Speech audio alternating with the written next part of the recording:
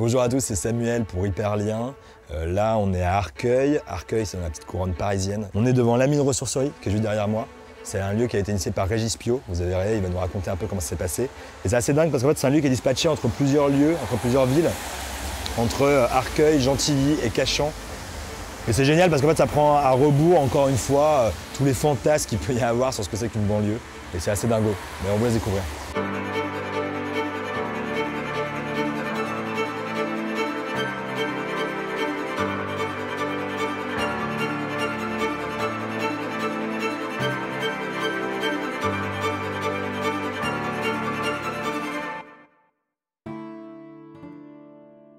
Hyperlien est de retour en cette troisième saison pour vous raconter ses lieux et ses projets qui changent les territoires. Nous vous emmenons aujourd'hui dans le 9-4, département Val-de-Marne, à la rencontre de la mine, un réseau construit autour d'un système de ressourcerie.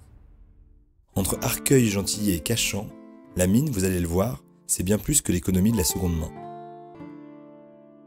Comme d'habitude dans les banlieues, il y a les histoires que l'on entend et la réalité que l'on vit. Bienvenue dans Hyperlien, le monde d'après est déjà là.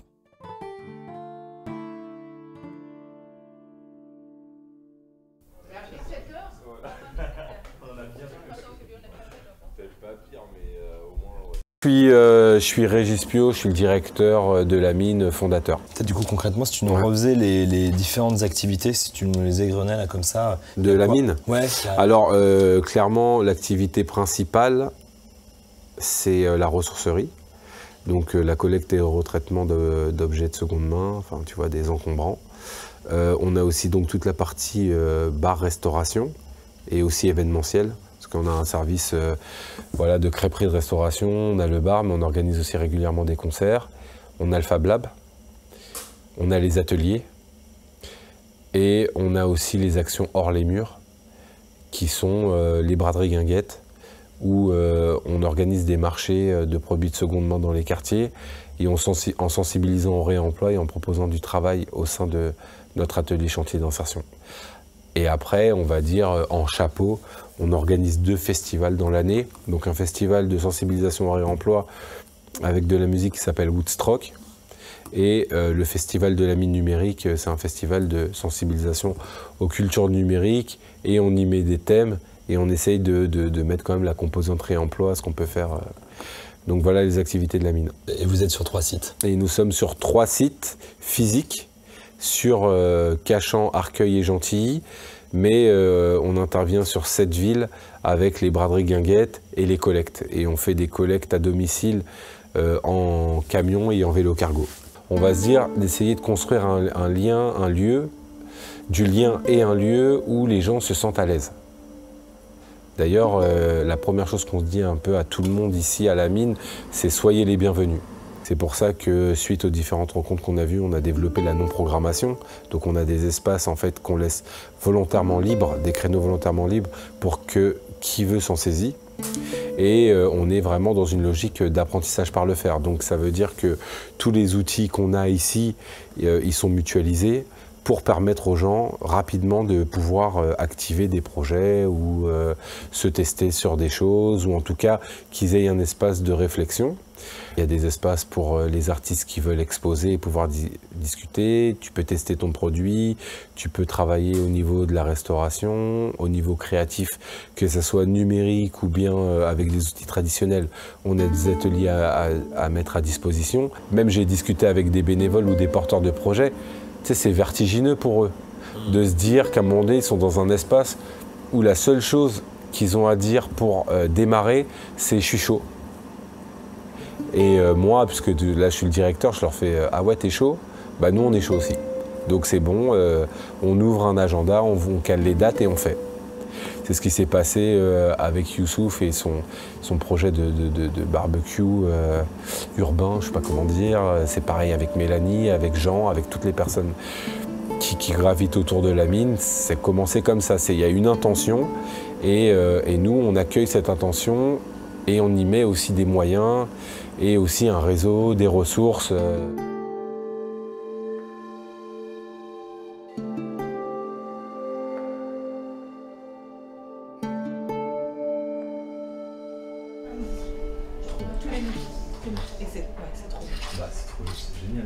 Donc je suis Mélanie Morange. Et j'ai 39 ans. Ah, Pas encore 40. voilà. on veut tout savoir. Comment que je suis arrivée ici Bah donc ouais, c'est un peu ça, la question qu'on se pose. Je suis arrivée ici, on va dire, il y a 4 ans, comme bénévole. On faisait euh, des gâteaux ou des trucs salés euh, qu'on vendait euh, pour récolter de l'argent pour la ressourcerie, quoi. Et donc on se mettait ici et voilà. C'était un peu le... Je sais pas si c'est très clair. Si, si, Le fonctionnement. Clair. Le, le fonctionnement du café Asso. Et en fait, je faisais plein de trucs sur mon quartier. euh, on, est, on a un gros, gros réseau de quartier. Donc plein d'événements qui ponctuaient l'année. euh, J'étais assez investie. Et à chaque réunion qu'on faisait, euh, je faisais des gâteaux. Ah, Et là, les potes m'ont dit, mais pourquoi tu fais pas des gâteaux Nous, on n'a pas le temps, même pour les gamins. des gâteaux maison, ce serait hyper cool, machin, on serait tes premiers clients et tout. Donc j'ai dit, au passage, j'ai dit à Régis, est-ce que je peux venir tester mes goûters maison, euh, jeux traditionnels à disposition à la mine euh, le mercredi et en échange, je cuisine. Voilà. Donc c'est comme ça que ça a commencé. Et donc Régis m'a dit bah banco parce que Régis c'est ça qui est hyper cool. Faut le dire quand même, c'est que dès que tu lui dis, il est là, faut pas qu'il entende trop. quand même. dès que tu lui dis j'ai une idée, il dit bah ouais, bah ouais, vas-y. Donc ça c'est trop bien. Donc je suis arrivée, voilà. C'est comme ça que je suis arrivée à la mine. En fait, c'était pour tester mon projet à la base. Et donc je vends mes gâteaux au marché de Cachan le samedi matin. Et c'est ça qui me fait gagner ma vie.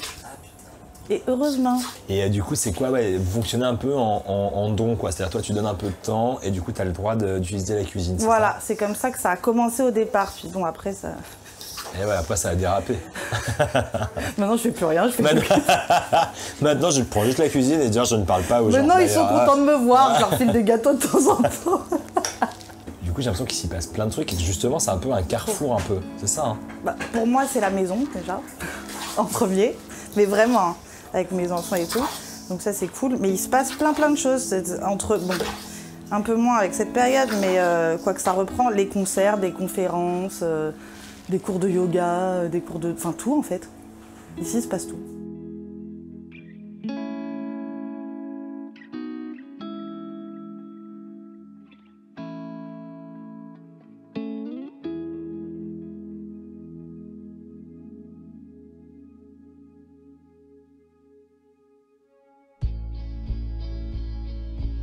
On arrive vers le second site de la mine, qui en fait est éclaté entre trois villes, et euh, qui est le site de Gentilly.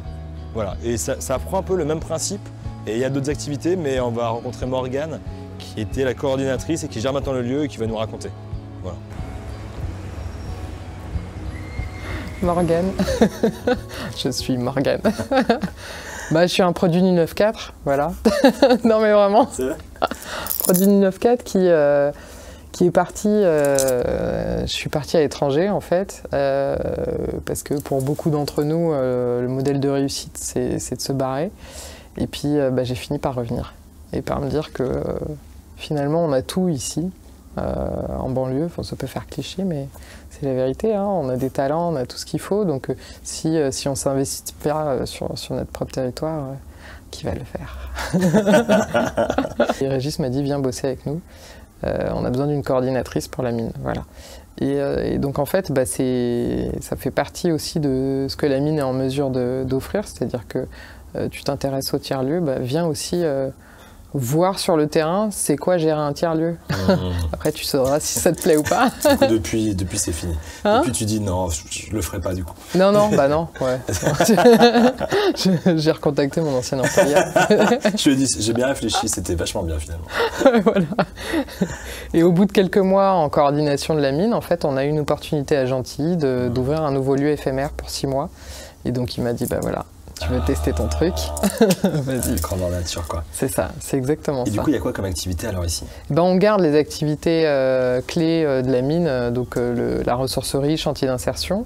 Et en fait, on a aussi on a une scène, enfin, l'idée, on a différents types d'espaces que des porteurs de projets et artistes peuvent utiliser pour, se- bah, pour développer leur activité, leur passion. Tester euh, des, nouvelles, euh, des nouvelles actions. Donc euh, il y a la scène pour les musiciens, il y a un mur d'exposition, on, a, on a aussi un espace en extérieur, on a des tables pour du coworking gratuit. et on a une cuisine aussi qu'on va mettre à disposition d'un porteur de projet.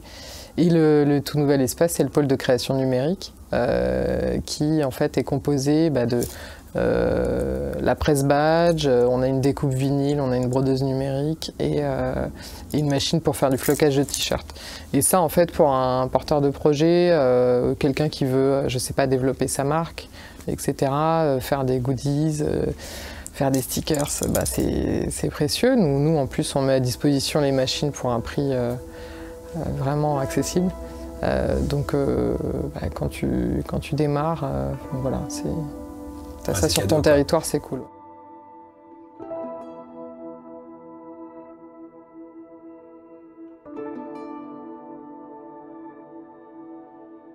Bah, donc là, on est toujours à Gentilly et donc on en profite euh, d'être là pour échanger avec un jeune qui s'appelle Youssouf, un jeune de Cachan, et qui va nous parler d'un triporteur barbecue. C'est assez dingue, mais il va nous raconter. Non, mais c'est vrai, je suis monsieur tout le monde. Aujourd'hui, je suis là, demain, je suis ailleurs. Non, je suis monsieur tout le monde. Je suis un habitant de Cachan, tout simplement. Aujourd'hui, moi, je suis quelqu'un euh, qui a envie de faire des choses. Quand on a un projet, quand on a une idée, on a quelque chose à développer, il faut le faire. Il y a toujours euh, une solution. Même si on n'a pas les moyens forcément, il y a toujours un système D. Vous passez devant la mine euh, à l'ouverture, etc. Les gens attendent devant la porte pour rentrer à la mine. Donc ça, déjà, c'est révélateur que ah, il y a un besoin. c'est aussi un espace, moi, je dirais, de, de cohésion sociale. Ça permet d'aider les gens tout simplement. Ça peut être des gens qui ont besoin, euh, je sais pas moi, par exemple à la mine, ils proposent euh, de faire du troc. Euh, il y a des gens aussi qui ont besoin, qui n'ont pas forcément les moyens d'aller acheter une machine à laver, par exemple, dans un magasin. Ils peuvent venir à la mine, etc., pouvoir voir s'il n'y a pas des bonnes occasions. Et je trouve que ça, c'est pas mal. il y a aussi toute la partie, je dirais, développement économique, etc., hyper importante. Parce qu'aujourd'hui, pour se tester ou même pour mettre en place des projets, il faut quand même des compétences. Euh, ça s'acquiert aussi avec de l'expérience. Euh, ça s'acquiert aussi avec, de l'accompagnement. Euh, et donc, cet espace, je pense, il permet de répondre à tous ces, éléments. Donc, c'est hyper important d'avoir ce genre d'espace dans les villes. En tout cas, Arcueil, Cachan, 94, c'est hyper important. Et le cyclo barbecue alors? Le cyclo barbecue, ça c'est, euh, je dirais que c'est un projet qui est sorti un petit peu de nulle part. Moi, c'est mon avis. Aujourd'hui, comment faire pour apporter des projets qui puissent, euh, avoir de l'impact avec différentes valeurs à défendre, dont la valeur écologique. Donc, on a mis en avant un peu le, triporteur barbecue. Donc, c'est quoi le triporteur barbecue? Tout, tout bonnement, c'est un triporteur qui a été aménagé pour que un gars, n'importe où, puisse euh, détaler en fait son, triporteur. Donc il y a un plan de travail euh, amovible, donc il y a un système en fait d'ouverture. Euh, il y a aussi une, comment dire ça, un aménagement, donc une cage, donc il peut mettre à l'intérieur des, comment dire ça, des contenants isothermes pour pouvoir transporter sa nourriture, etc. Et tout bonnement proposer des barbecues n'importe où, à n'importe quel moment.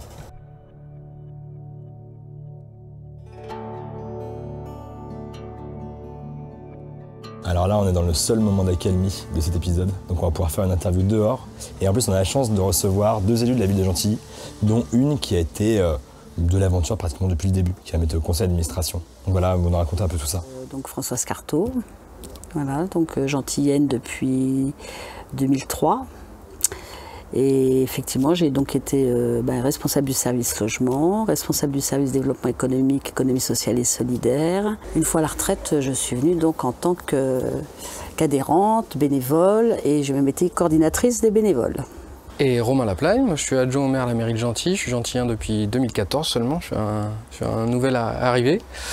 Euh, et dans ma délégation, il se trouve que j'ai une petite part d'économie circulaire et donc euh, l'implantation de la ressourcerie Lamine euh, m'intéressait à ce, à ce titre-là. Et pourquoi c'est important des, lieux comme ça sur des territoires euh, je trouve qu'il y a une ambiance formidable, quoi, je veux dire, et puis ça permet vraiment de, rencontrer, d'échanger, de, et puis de, monter des projets. Enfin bon, ça permet vraiment de, de faire participer, participer un maximum de personnes et puis d'ouvrir partout dans tous les quartiers. Ouais, bah, ça allait dans le cadre de notre démarche euh, politique et d'aller de plus en plus vers euh, de l'écologie, notamment par le réemploi des objets. C'est ridicule, comme disait Françoise, de se rééquiper avec du, neuf alors qu'on a des objets qui ont déjà eu une vie et qui peuvent en avoir une deuxième. Et, ça profite surtout à des populations qui, à Gentilly, ne euh, sont pas forcément très fortunées et qui donc peuvent s'équiper mm, correctement avec du matériel à moindre coût. C'est la fonction principale de, la ressourcerie, mais il y a, des fonctions euh, secondaires qui sont celles de se retrouver dans des, lieux de vie, et des lieux de vie à Gentilly, il n'en pas tant que ça. Enfin, surtout des lieux de vie qui soient euh, à destination des familles. Dans ces lieux, on peut effectivement venir, euh, s'équiper, venir se vêtir, mais on peut aussi partager un café, un moment de, de détente, de découverte culturelle, musicale.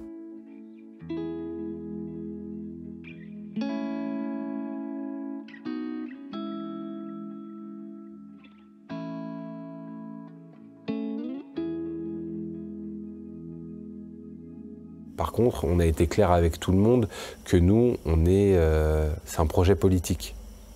C'est un projet politique. Quand je dis ça, c'est pas pas un projet politique partisan. C'est un projet politique de mise en mouvement des populations pour répondre à des euh, préoccupations publiques. Alors nous, principalement, c'est la gestion des déchets. Après, euh, il y, a toute la partie vivre ensemble et tout, etc., cohésion, lien qu'on essaye de mettre en place. Et puis après, bah, il y a aussi l'aspect économique où les gens peuvent se tester, se réaliser. Et, le projet, on va dire, se réoriente aussi dans ça.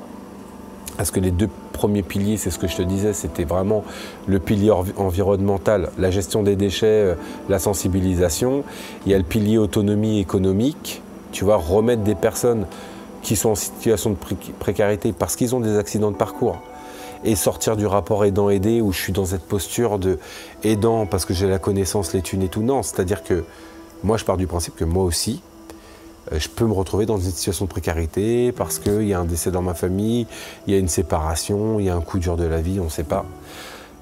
Et c'est vraiment voilà, que les gens se disent, et c'est ce qu'on dit aussi à tout le monde, bah voilà, tu as un coup dur dans la vie, ici, viens, tu vois, viens ici, on essaye de réfléchir, tu te requinques, tu vois, tu reprends de l'assurance, de la confiance en toi, tu développes tes projets, mais après, n'oublie pas, il faut que tu ailles donner de la force à quelqu'un qui te, qui te sollicite. Et donc, c'est ce mécanisme de chaîne de solidarité qu'on fait ici euh, à la mine. Il y a, y, a un récit à réécrire par les parties prenantes. Ça, c'est clair parce que le, tort qu'il y a, euh, c'est qu'il y a des récits qui sont écrits, mais pas spécialement par des parties prenantes, par des observateurs, et, euh, ou alors par euh, des élites. Et en fait, je pense que l'enjeu aujourd'hui, c'est de pouvoir réécrire des histoires avec les parties prenantes.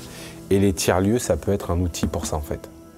C'est-à-dire que euh, c'est des lieux qui sont populaires, c'est des lieux quand même où il y a derrière comme une expertise et euh, il y a un cadre qui permet de pouvoir accompagner. Et donc, ces lieux-là qui sont ouverts, qui sont plus informels que, l'institution, où il y a moins de défiance, ça peut être des cadres pour réécrire des histoires communes, des histoires aussi singulières, mais euh, des histoires écrites par les parties prenantes. Et, justement, moi je pense que l'illustration qu'il y a eu avec euh, donc, tous les porteurs de projets que vous avez vus tout au long de la journée, c'est des gens qui sont en train d'écrire des histoires singulières. Les tiers-lieux, leur fonction, c'est ça. Il faut que nous, on soit là des outils pour réécrire des histoires singulières et collectives pour entraîner tout le monde dans cette dynamique euh, de changement. Parce que là, actuellement, on est, euh, il y a une chape de plomb justement parce que euh, je trouve que ces récits sont écrits par d'autres. Et il faut, il faut rassembler. Il faut rassembler et le tiers-lieu est, je pense, un bon outil parce qu'il fournit des moyens, parce qu'il donne des perspectives d'émancipation concrètes. Euh, voilà.